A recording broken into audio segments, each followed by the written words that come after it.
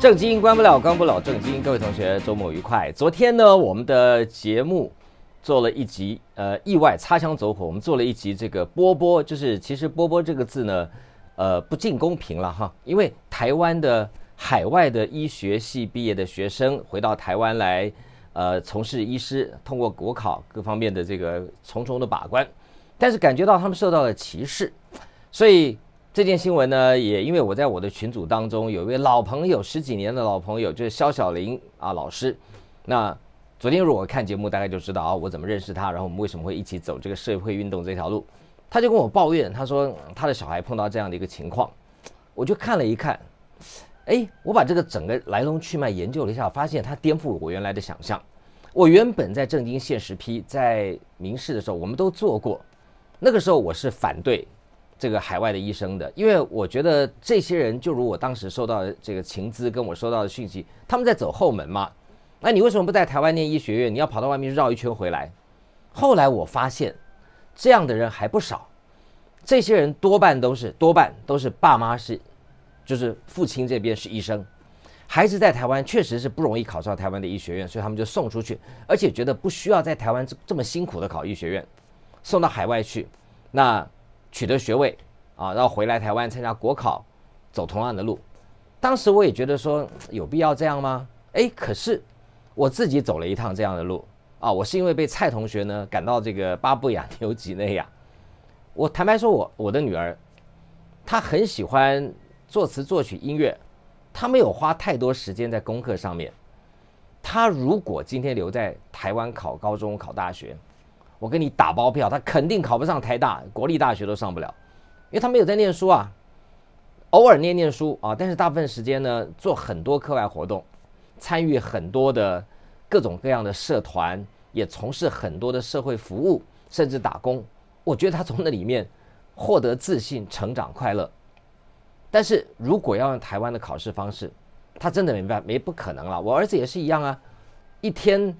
十个小时里面大概七个小时打篮球，要不然就看篮球、讨论篮球。那剩下大概一两个小时，刚好把作业做一做，考试前看一看。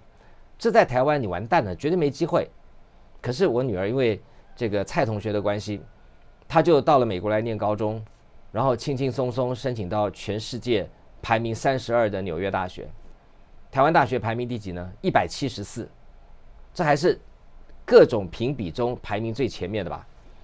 也有五十几的啦，反正你如果整体，因为你知道这个世界大学排行、世界医学院排行、世界牙医排行，那都有学院都有排行，有很多不同的机构。现在最被人家认可的是 US News，就是呃美国的这个呃世界新闻，还有很多啊，还有这个泰晤士高等教育，还有这个呃 R 物啊这个世界大学排名排行榜，还有 QS，有好几个排行。这也很难说到底谁公平不公平了。我作为一个统计的这个呃，不敢说专家了啊，专家专门骗人家。我作为一个学统计的人，很难说，因为每个人着重的东西不一样啊。你说台大好还是哈佛好？哎，百分之九十九点九的人说哈佛好，可是我就要说台大好，为什么？我着眼点就是台大出了一个有风骨的教授，开开玩笑了。这个就是每一个人着眼点不一样啊。对不对？有人认为说，哦，什么这个呃标准化考试分数高叫做好学生；有人说，哦，GPA 这个学校在校成绩高分叫好学生；有人说联考高分叫好学生；有人说，哎，他的这个课外活动均衡表现的好叫做好学生，这很难讲。有人说教授研究的品质好叫做好学校；有人说学生的素质好叫好学校；有人说这个从这个就业市场对各大学毕业生的评比或者口碑。这个叫做好学校，有人说经费多的叫好学校，都有它的道理，每一项指标都很有它的道理，但是怎么样给它权重，这个有点见仁见智。好了，所以我作为一个做学统计的人，我通常就是把这些指标加起来平均呐，平均呢以后呢就会让比较极端的东西能够慢慢的这个呃 regression 就向向中间平均值集中吧，这是没有办法的办法，就像民调民调。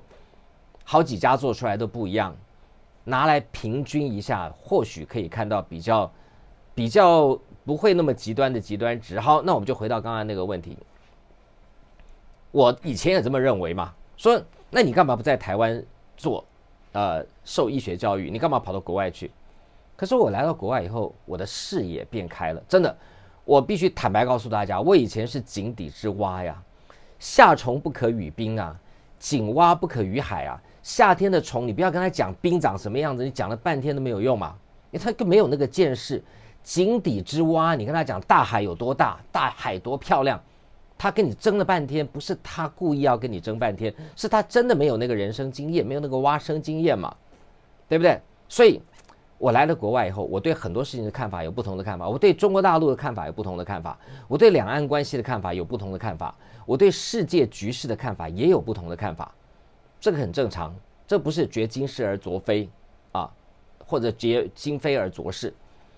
这是当人把视野开阔，不要光做一个台湾岛民的时候，你会看世界有一个不同的角度。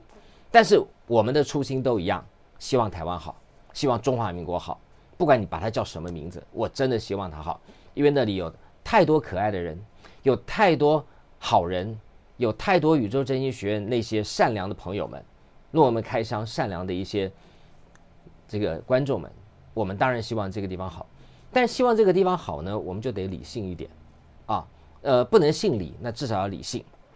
好，我就开始思考这个问题，台湾到海外去。念医学院的学生有比较差吗？这第一个问题。第二个问题是，台湾在这个走出台湾以后，世界各国的医学院有真的比台湾差很多吗？第二个问题。第三个问题，我们一直说波波波波波波就是波兰，波兰医学院仿佛被台湾的两千三百万人或主流媒体定位成为一个很烂很烂的医学院，波兰好像是一个很烂的国家。而且波兰好像就代表了台湾的旅外的医学生的代名词。好，没关系，我就想说，那这样好了，我们就拿最差的来看好了。你们如果大家都公认波兰的医学院是这个呃台湾目前的外籍医师当中最差的，啊，在国外拿到医学院的学生当中最差的，那我们就来看它到底多差，跟台湾的医学院的平均值比起来是差多少。于是我就展开了一系列的研究，你知道。我呢，这二三十年来做的事情，就唯一的一件事情就是做研究。我在台湾大学二十年，在媒体界也差不多一二十年，也是也差不多十年八年。再加起来这三十年，我共同做的事情就叫做做研究，就是出现一个问题，我去找资料，然后做分析，透过我的所学研究方法或者是量化的统计，我去理解这中间的一些逻辑，整理爬出一些。结论出来，这就是我二三十年做的事情。那我就开始做各种各样的爬书，我找了 Chat GPT，也找了其他的一些内容。对，有些网友提醒我说：“你不能光信 Chat GPT。”你讲的对，Chat GPT 很准很好，但你要训练他，他常常有错，你就要追问他，然后把你知道的东西去挑战他，他就会修正修正。所以，如果你问的好，这个答案就会好；你问的不好，答案就会不好。这个 GPT 非常好玩啊！我每天都跟他相处了很长的一段时间，我开始慢慢了解他，慢慢知道他的这个逻辑，开始慢慢的哎爱上了这个 GPT 小姐。好，我们来回答几个问题啊！台湾的医学院到底有多棒？世界各国的、波兰的、西班牙的这些，你们觉得好像来台湾吃台湾的医学生豆腐的医学到底有多差？我就巡回找了这么一下，但是我首先要回答一个问题是。开放一小部分的本土的医师是由国外取得医学院执照的、医学院学位的，然后通过台湾的国家考试的，这个对台湾到底有有没有不好，或者是说是不是真的冲击到本土的医学的市场？我整个研究一下，跟大家报告比较客观的数据。第一个，这个是四年前的统计了哈，不过因为到目前为止还没有找到最新的。但是没有差太多，就是二零二零年底的统计，台湾共有四万九千八百零八位职业的医师。我今天先讲医师了，因为昨天谈牙医嘛，我们今天就来谈医生好了哈。好，这个将近五万名的合格有执照的职业医师呢，大概有百分之十是毕业于国外的医学系，也就是说五万个医生当中有五千个是从国外的医学系回来的，百分之十，百分之十很严重吗？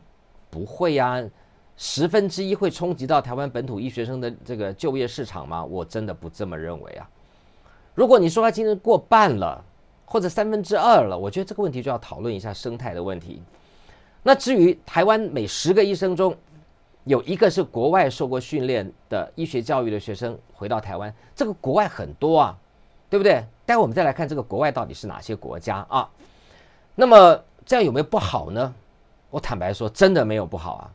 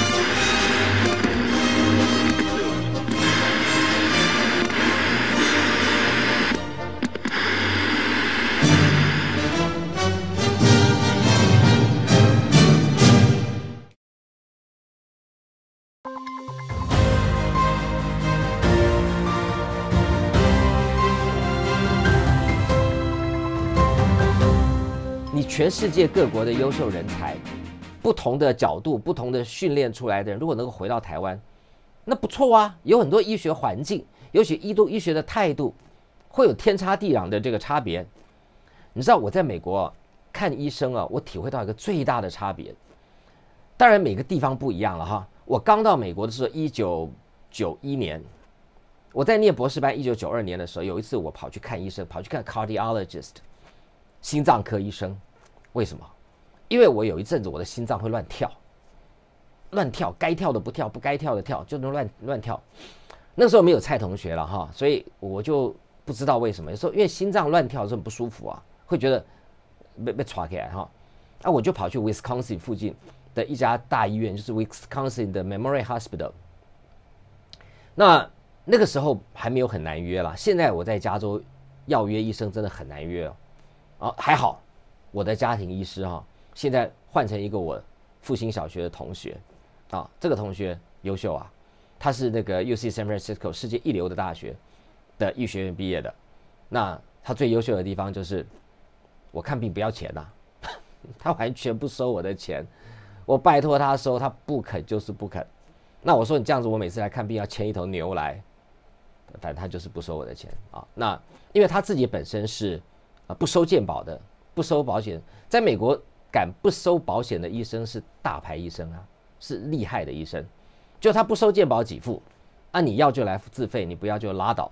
但他医生他的病人多到不行，于是他就收了我这个啊不付钱的吃这个呃霸王餐的呃同学。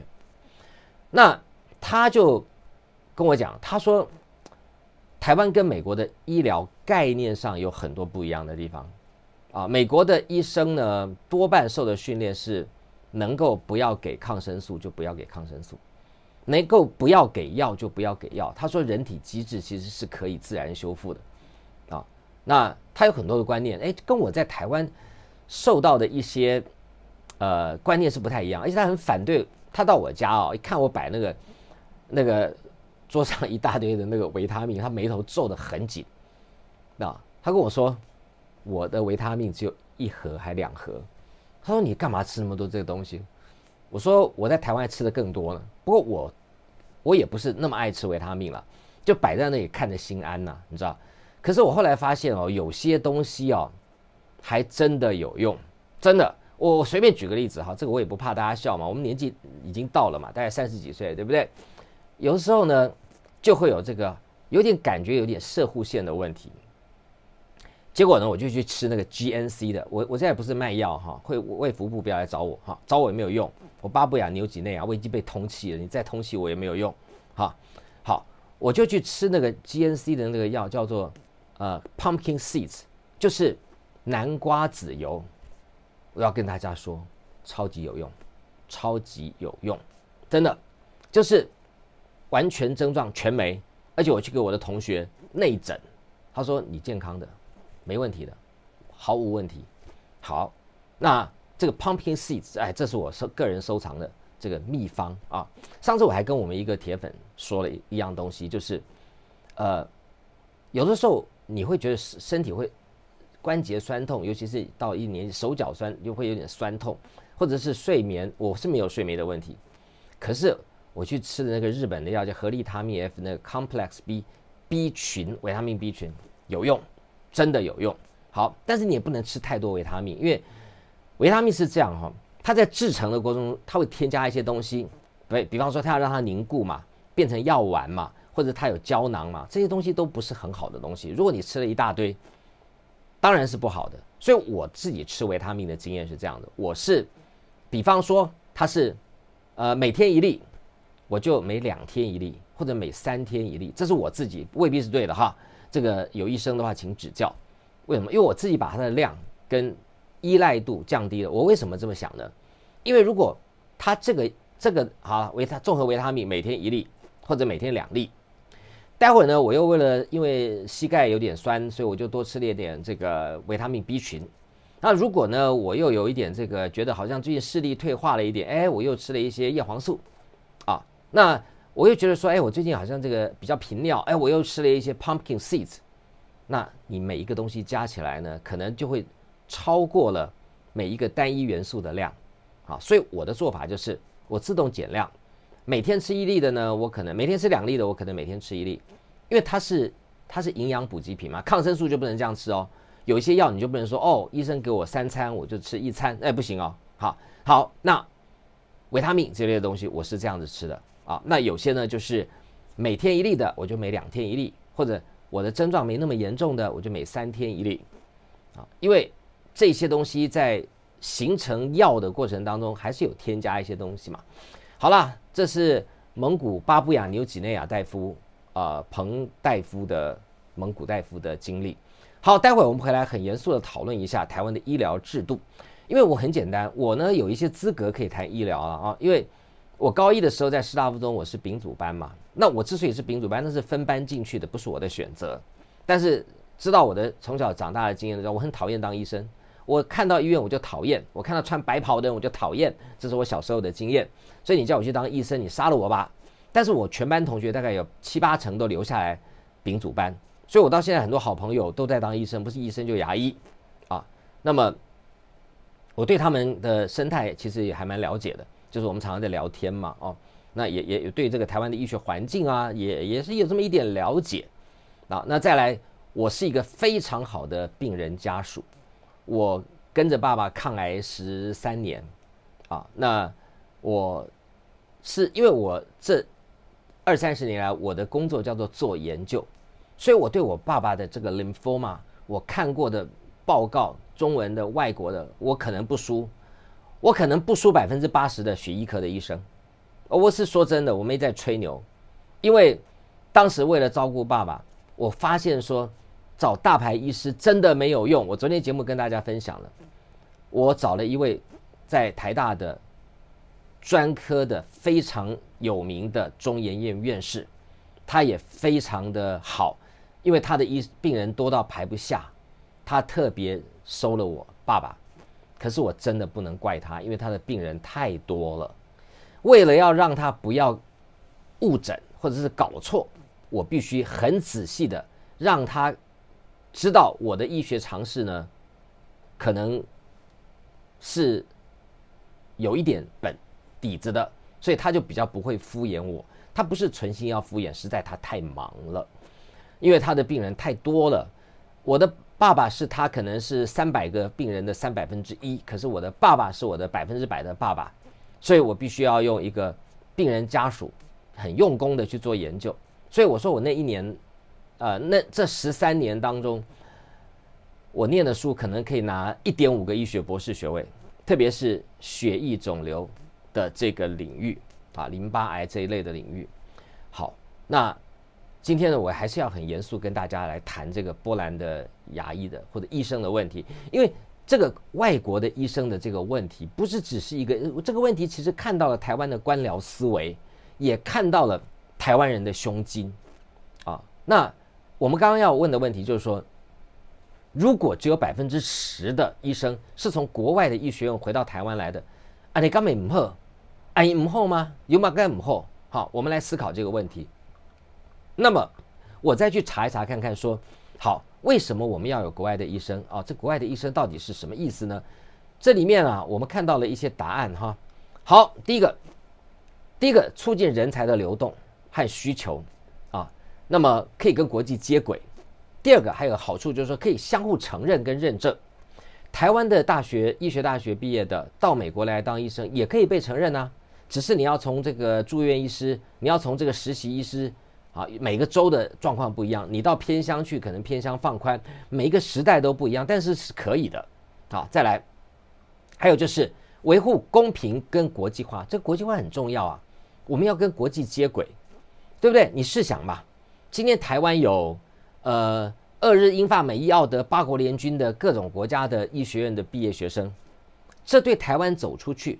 或者引进一些国外呃比较先进的医疗技术或者人才，或者做建教合作有没有帮助呢？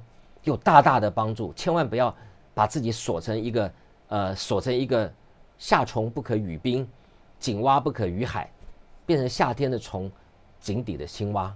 这个对台湾真的不是好事嘛啊！还有呢，这里面还涉及到一些法律哦。WHO 世界卫生组织是鼓励医疗的交流的，包括医学院。还有国际医学教育认证标准，叫 WFME 的 Standards，也是参加了这相关的标准的认证，也是鼓励大家呢能够朝国际化、标准化来迈进。那另外，台湾的医师法当然呢，现在听说要修法堵住后门，我觉得我其其曰不可，没有必要让这些人公平的在国家考试下竞争。我还再讲一遍，因为国家考试有两阶段嘛，一个是笔试。一个是实习，你就让他们公平吧。他们都拿到了医学系的这个文凭。那有人说：“哎，我们的医学系比较难考啊。”那是那是你认为啊。我第一个我要告诉大家，难考的医学系不见得就是好的医学系，这是第一个。因为每个国家的国情不一样，每个国家考试的方法不一样。我刚才讲过，你说我女儿是不是个好学生？她摆在台湾的高中，她肯定考不上。国立大学，我个人认为啦，因为他根本没有在花太多时间在背书上面，尤其他不会去背什么历史、地理什么这种，他不会花时间去背这种东西。美国的历史地理考试怎么考的？你觉得富兰克林跟林肯哪一个比较伟大？首先，你告诉我你的伟大的定义是什么？第二个，你的论述；第三个，你证明这是美国人在教历史。台湾的历史呢，是教什么？呃，请你把唐朝的这个皇帝从这个远到近排列，然后他们的这个呃皇帝姓什么、族氏什么、年号什么，请写下来。我花了太多时间去填满垃圾，所以我这个人就变成了垃圾。殊不知啊，今天有个叫 Chat GPT，它马上把你列出来。重点是说，你去背这些唐朝皇帝的年表，你要干什么？你为什么不花时间去比较唐朝的各皇帝之间他们的优缺点，或者对这个当时的国家造成什么样的影响，对不对？但可是没办法，因为台湾的教育真的很僵化了。老师是什么样的训练训练出来的，他就训练他的学生变成什么样的学生，所以这个世代传承之后，就落入了这样子一个教育的僵局当中。好，我们待会儿呢再理性的来讨论一下，因为。你可以说医学院跟我没关系，可是你要看病啊，所以医生跟你有关系，这个东西跟大家都有关系，而且这个东西跟蔡同学有没有关系？有啊，他的英国什么伦敦政经学院是是个野鸡大学吗？各位觉得当然不是啊，好学校啊，但是是不是孵出了一窝的野鸡？所以你要谈什么呢？接段广告，马上回来。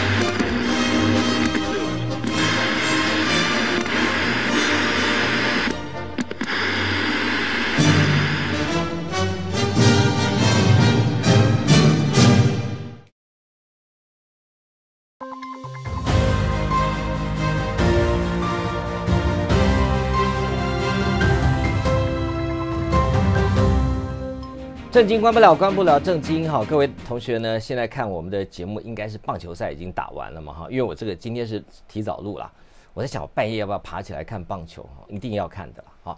希望是我们是赢的，因为我现在还就是还不知道，还没有比赛啊。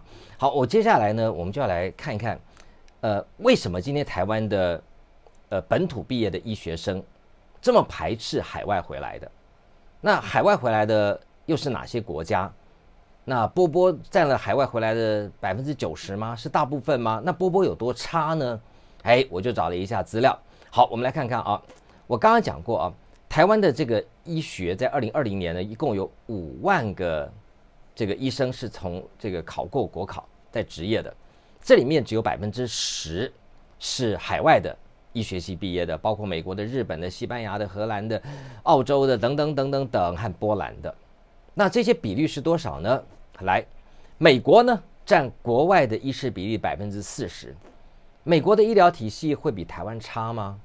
应该不会哈，但是不能用总体看个体，这就犯了叫做 ecological fallacy，这就是研究方法中的一个谬误，叫做 ecological fallacy，叫做生态上的谬误，就你不能拿总体经济学的环境去推演个体经济学，也就是说，你不能说。美国的总体的医疗水准比台湾高，所以美国的医学生就比台湾的好，这个这个是错的，好，或者是说某一个美国的大学毕业的生就比台湾的大学毕业的医学生要好，这个是不对的，因为这是 ecological fallacy。那美国人的大学毕业生呢，在台湾的医学系的这个到台湾来执业的占了百分之四十，啊，这第一件事。第二个，你千万不要以为美国就很棒棒啊！好，美国真的有，美国有多少所医学大学呢？我呃，医学系呢，我我看了一下，它的比例比台湾高，就是说，相较于它的人口，它的医生、医学生的比例比台湾要高。那么有很多内布拉斯加大学，我都把它叫做鸟布拉斯大学。那不好意思，如果有这个毕业的，我没有不敬之意啊。内布拉斯加大学或者什么，呃，或者是什么。怀俄明州啊，什么爱德荷州啊，这些学校的医学院不怎么样啊，真的不怎么样。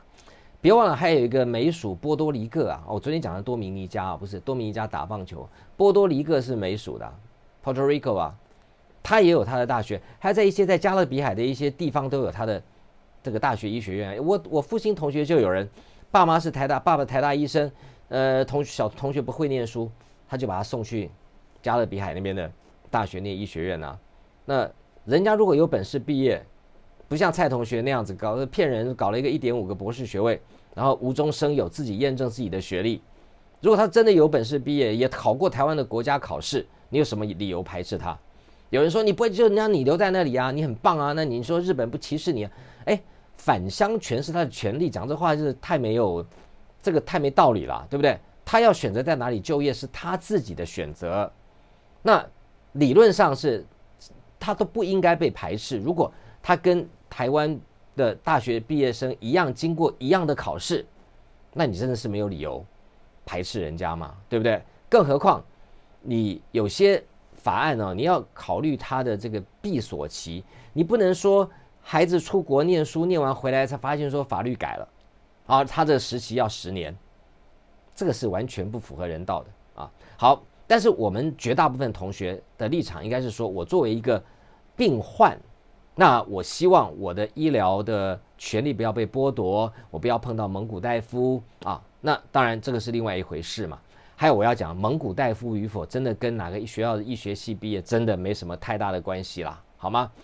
报上只会报说哦，波波医生医死人了。我就说了，台大的、阳明的、北医的医死人的新闻多得很，只是没有报而已啊。好，那我们来看看啊，日本是第二大宗，占了百分之二十五；美国占了百分之四十，日本占百分之二十五。第三大的国外医学院在台湾执业的医生是德国百分之十五，英国百分之十，也就是四十二五十五十。美国、日本、德国、英国加起来占了百分之九十。台湾的外籍医学院毕业的医生在台湾执业的百分之九十是来自于美国、日本、德国、英国。如果我们光看台湾的媒体，你会以为台湾的外籍医生全都是波兰的。其实我觉得现在这样波兰被污名化以后也蛮可怜的啊！这些波兰的医学生也真的在台湾的医界，我看你也待不下去了。好，那么剩下的其他国家占百分之十，包括澳大利亚的、西班牙的、包括荷兰的、包括比利时的、包括。呃，这些国家加起来百分之十，好，那么这个到底到底这些国家是很差吗？那我们就来看看台湾的大学到底有多好呢？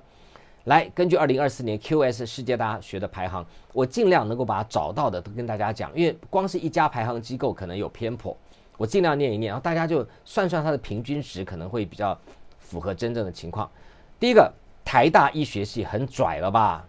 排名在五十一到一百之间，全世界大概我们算中间值啊，七十五名，很值得骄傲吗？等一下，我们来看看你们瞧不起的那些国家的医学系有没有比你差。再来，阳明交大被排名到两百到两百五十之间，那我们就算它中间值两百二十五好了。再来，台北医学大学大笨钟那个学校，两百五十一到三百，那我们就算它两百七十五好了。再来呢，中国医药大学排名三百零一到三百五十，我们平均值三百二十五。高雄医学大学排名在三百五十一到四百，算它三百七十五。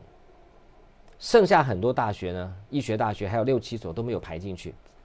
那我们来看看，有最多人诟病的，比方说西班牙的大学，来，根据 QS 世界大学的排名啊，这个 QS 呢，就是刚刚是同一个标准的 QS 世界大学排名。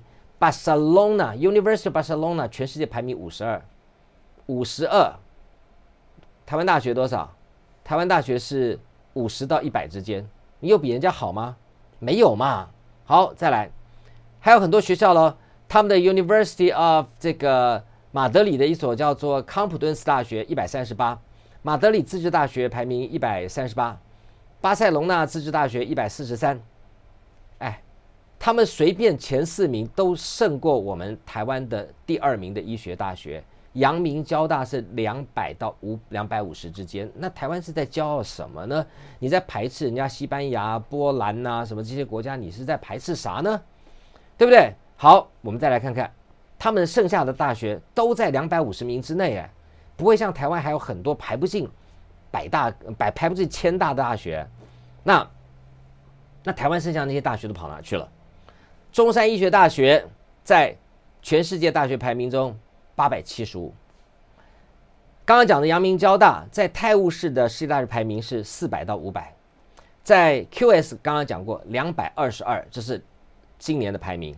高雄医学大学呢，在泰晤士高等教育排行是六百到八百名之间，我们算七百。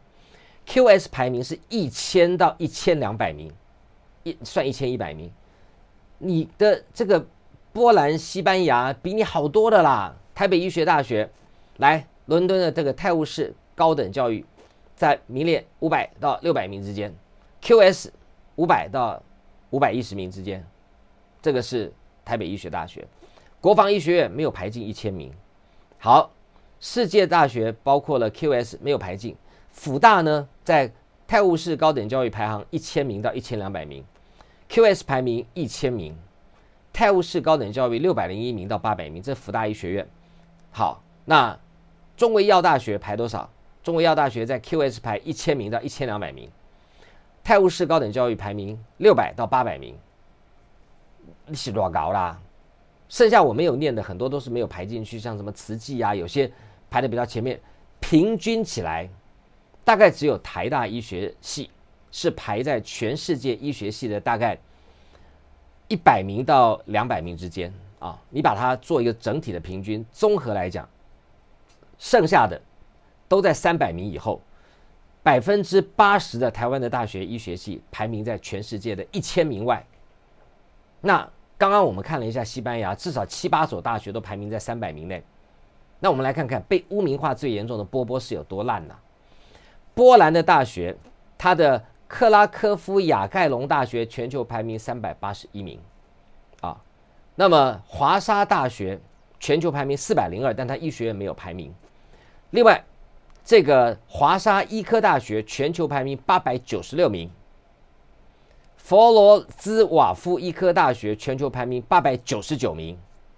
好，我们来看看，台湾有一半以上的医学大学排不进一千名，所以这个波波有多烂？好，有人提到一点说。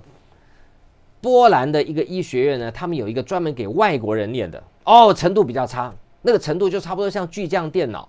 哼，各位同学啊，巨匠电脑培养出来的人，如果能够通过台湾的高考的资讯类的考试，你管他什么酱啊，对不对？你管他是沙茶酱还是甜面酱，人家如果有本事，笔试、口试，包括了专业都考过，你能说人家什么？实习也过了，你能还能说人什么？那照你这样讲，那好吧，台大的学生很棒吗？台大也有像我这种很不不怎么样的，对不对？我台大我在台大都没有在念书啊。那你说台大毕业生都很棒棒吗？那彭文正呢？哼，所以啊，不能用这样的方法来比较了。最好的方法就是可以，你要来台湾当医生，考试，你通过台湾的国考，一视同仁，对不对？事实证明什么？台湾大学的医学。的相关学校的医学系没有比人家世界强到哪里去嘛？没有嘛？而且在亚洲排名多少？台大在亚洲排名三十二名啊！你们老瞧不起中国大陆，中国大陆医科大学比台湾大学医学系好的有二十所啊！我的老天鹅啊，谦卑一点吧，真的不要这么狂啊！台湾真的没有那么棒，走出台湾看看世界，真的没那么棒。我我看到很多人说哦，台湾现在很棒，股市飙破两万点，你要怎么样？股市是短时间之内的资金的流向，今天可以两万点，改天发生什么事情，整个资本一抽就无量下跌，对不对？而且全世界很少像台湾这样子有这个国安基金护盘的，这个要护盘拉起来不是很难的事情啊。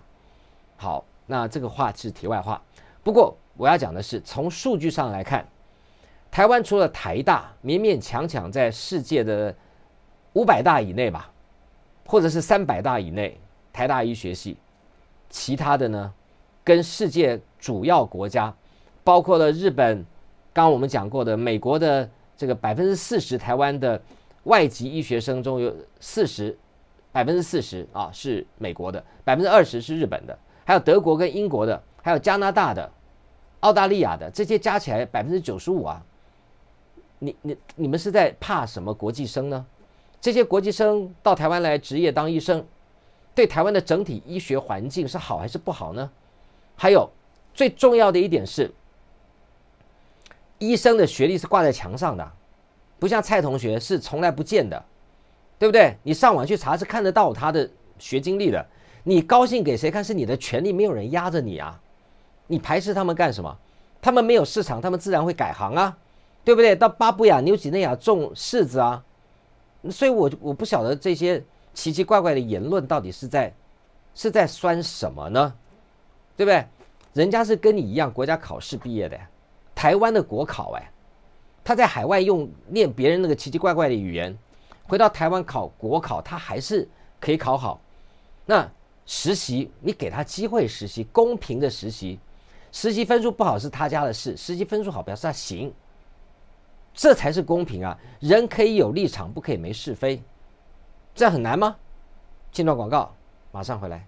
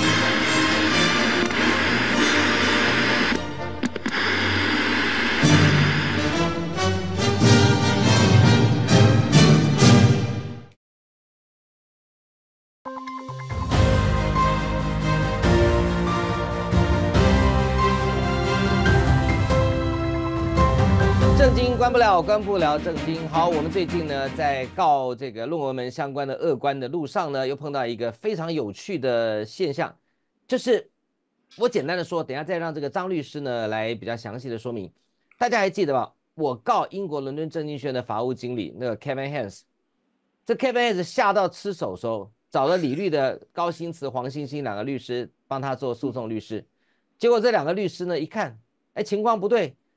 苗头不对啊，脚底抹油溜了，解除跟这个 Kevin Hans 的委任关系。委任关系。那这个案子为什么会有这个问题呢？是因为我们在一审的时候告 Kevin Hans，结果被台北地方法院的法官叫林伟环嘛，双木林，伟大的伟，左边是斜玉旁，环是那个呃，林伟环的环是左边一个木啊，右边一个元旦的旦，上面一横的那个林伟环，结果他直接没有开庭。完全没有调查证据，也没有要我们说明，也没有要这个 Heaven Hands 做任何说明，直接帮我们判败诉。嗯，哎，他直接判败诉啊，没错，理由很多啊，最简单就是阿多啊不要告啦，麻烦呐，阿多啊看不了中文呐，你这样告他送达书一送，他的熊熊会吓到，他不知道这怎么回事啊，然后这么远呐，不方便呐，你不如去英国告他。哎，开玩笑，你把台湾变成了治外法权，你把台北地方法院变成了英国的租界吗？嗯，那从今这个范例，如果判例成立的话，那所有人在台湾被英国人抢了，被美国人抢了，你的国际贸易或你的商标侵权被外国人侵权，你都不要来在台湾告，我请你到国外到他的法庭院去告，所以这是一个非常丧权辱国、很糟糕的一个判决。更何况他完全没有听两造说任何话，直接判我败诉。好，结果呢？我们看到到高院。高院直接打脸林伟环，噼噼啪啪打得很响，那个判决书写得很好，意思就是你林伟环做不到。对，哎，就回来了。案子驳回到一审之后，哎，万圣节也过了一个多月吧，我怎么又见鬼了？嗯，一审的法官跟一审的法官怎么又还是林伟环？这不就是张永辉这案件的重这个翻版吗？翻版，对。好，林伟环你也不用高兴，张永会因为这样子夹着尾巴跑了，嗯，他已经辞职了。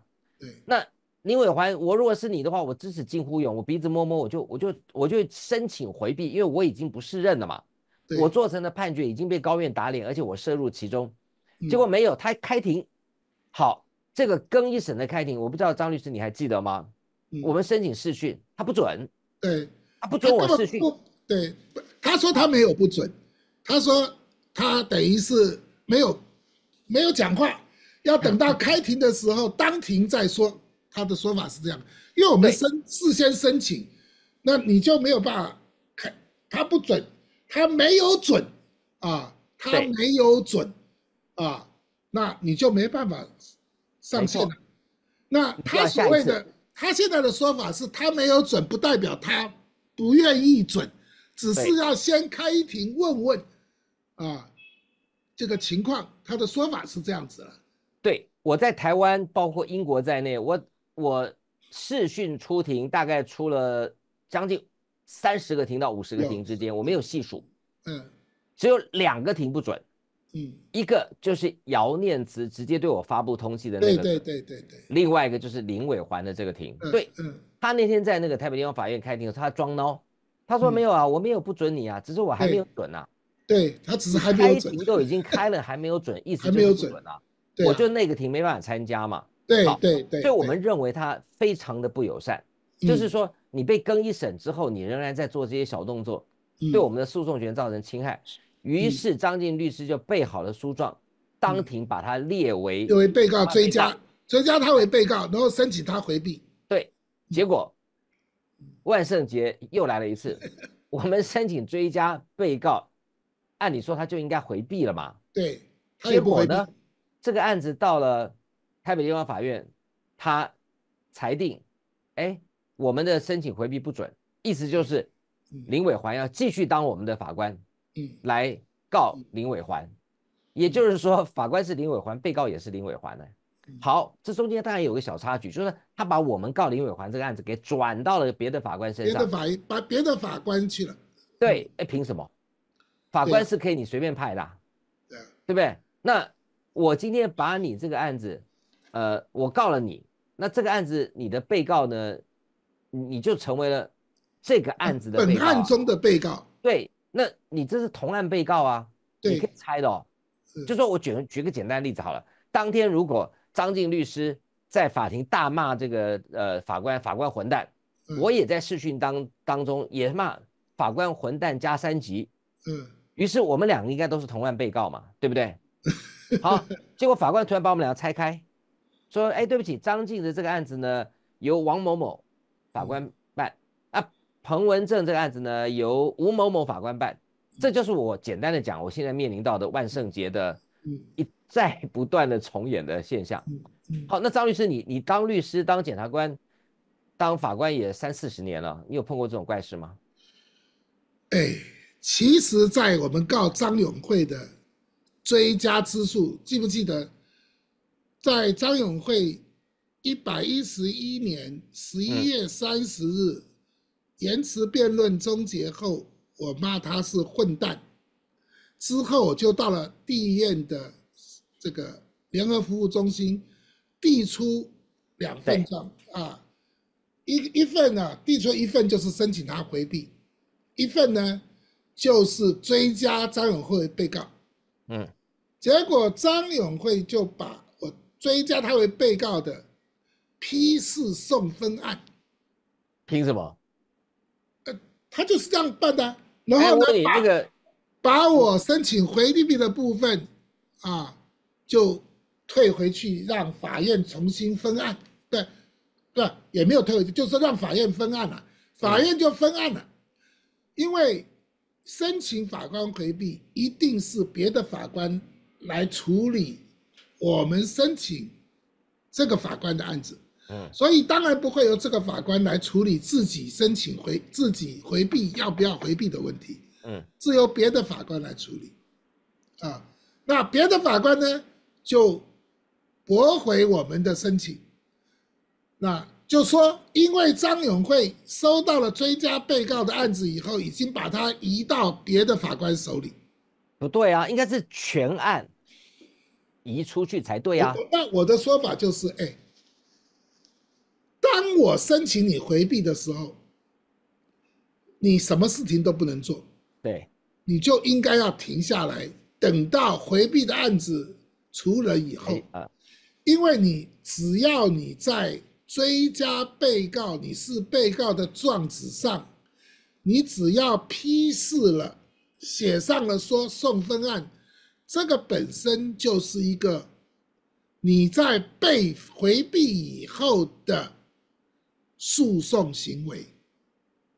照理说，一旦你被申请回避，你任何的诉讼行为都不能做。嗯，那那个案子我们会输，还是因为很关键的一个是，因为他当天呢、这个延迟辩论终结的太突然，嗯，他本都不让我们辩论，我我记得当时李振华律师还在提出他要提出的证据，法官就突然说延迟辩论终结，对，以至于我来不及去把追加的状子啊当庭定，嗯。所以我才会在事后才定。后来法院就说，延迟辩论终结以后，你的追加之诉是不合法的，所以这次我学乖了。嗯。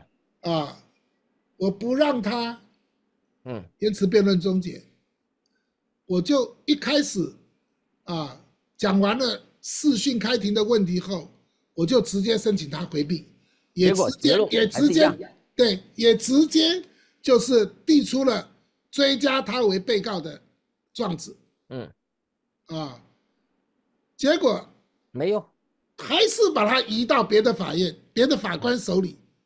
那这个追这个所谓的啊申请回避，就变成了形同具文。嗯然后呢，处理回避的法官们一共是三位。嗯。啊，就说这个案子追加追加被告的案子已经离开了林伟环之手，嗯。所以没有回避的必要。嗯，你自己可以决定自己的案子交给别人办，嗯。这是什么话？这是这是对的吗？嗯，就说他自己的案子，他他做了一个自己当被告的案子可以自己移给移给别的法官办吗？对他决定要分交给别人去分案嘛，这个是他决定的，对不对？嗯，这对啊，个是完，你讲的对。当他被告的时候，他就应该 freeze，就跟就跟被警察要求搜身一样，你就要停止，不要动作。对呀，对呀，对不对对呀，对呀。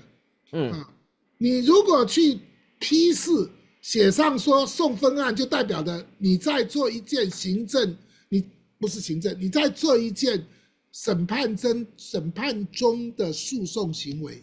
嗯。可是当我申请你回避的时候，所有审判中的诉讼行为理论上都应该要停止，没错。尤其你成为被告，啊，是应该要回避，而不是得回避说，或者是所谓的什么有偏袒之余，啊，这不同的条文哦，啊，法官是被告用的条文是一定要回避，嗯如果其他的情形是有偏颇注意之余，是我们申请他回避，嗯。他啊还可以等，但是理论上那个他自己是被告，等都不用等，就应该要回避才对呀、嗯。可是现在的结果又是如此，所以这个案子呢，我一定会帮你抗告。啊！台湾的司法真的是啊，要怎么讲呢？啊，台湾的司法真的真的烂到了极点，我只能这么不说。过佩服这些法官可以光天化日啊，嗯，完全无所谓啊。他嗯他就乱写，他乱裁的没关系。不过没关系，你乱写我也乱写。嗯二关四，把你们 所有的恶行恶状，嗯从二关一、二关二、二关三、二关四，中英文图文并茂，把你们送进美国国会图书馆，永久保存，让你们的子孙、曾孙、玄孙将来看到阿公阿嬷的脸哦，就怎么出现在一本书叫《The Evils》，evil，的的这个书的封面哈。嗯，二官四呢，这个封面人物有刘成武检察官，有黄国忠院长，有吴钊燮部长，钟景坤署长，法官姚念慈，还有总统蔡英文。好，里面的每一个字都接受检验，也接受挑战。如果你们觉得呢，小弟有这个对你不敬的地方，欢迎提告。啊，这就是我对于所有被我收录在恶官书当中的这些行政官员或司法官员的一个诚挚的、温馨的叮咛啊！我希望我们能够能够效法在其太师剑啊，再进董狐笔，我们能够做一个秉春秋之笔，明善恶之辩的人。今天谢谢这个张静律师，谢谢。我只最后一句话就是，我们两个都是自反而说，虽千万人吾往矣。我希望是往，不是那个灭亡的亡啊，是 来往的往啊。来往的往，无往矣啊，好。往矣，对，嗯，好，谢谢啊，谢谢张律师，谢谢，祝大家平安喜乐，有个愉快的夜晚，明天见。